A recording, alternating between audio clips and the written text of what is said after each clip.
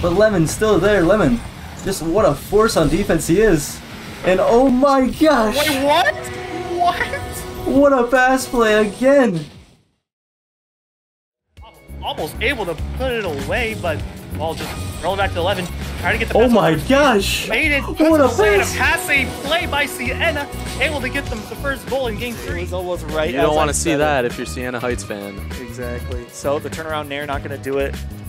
Decent combo from There he goes. Velvet. Wow, Down look at air that. into the side beat.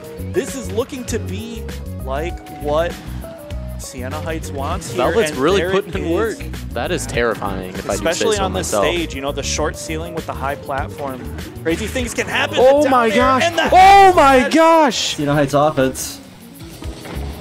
P50 across to the wall. D-Boy fakes. Same with Siena Heights there. And 11. To Bob. Bob. Downfield to 11. 11. Izzo put it away. Never seen that poly combo before. Yeah. Oh, oh, the air dodge catch. okay. Okay. Hold on, I'm kind of hungry. Yeah, uh, keep in mind, don't stream on an empty stomach. It's looking clean, looking clean.